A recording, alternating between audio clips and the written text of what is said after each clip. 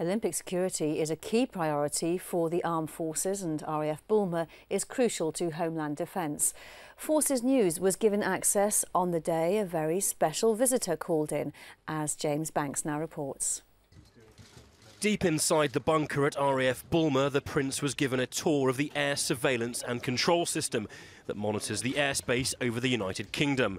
He met some of those who'll be watching the skies over London this summer and saw how the Olympic air security plan will operate. He was very engaged, as you'd expect uh, an aviator, uh, with two sons who are also aviators, uh, with obviously a very detailed understanding of what we do in the Royal Air Force.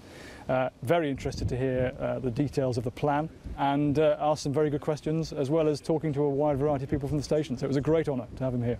Despite being more than 300 miles north of London, the work being done here is at the very heart of the Olympic air security plan. The role of Royal Air Force Boulmer and the air surveillance and control system, which is headquartered here, is to provide a picture, if you like, uh, to contribute to the uh, awareness of what's going on around the London area and all the other Olympic venues so that we can be sure that what's flying is uh, allowed to be there and we can, uh, if necessary, take any preventative measures.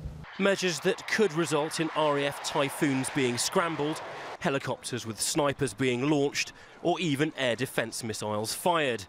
These, of course, would be a last resort, and their job here is firstly to coordinate and give an early warning of anything unusual in the airspace. There's a, a range of surveillance assets, radars and actually visual observers also around the London area.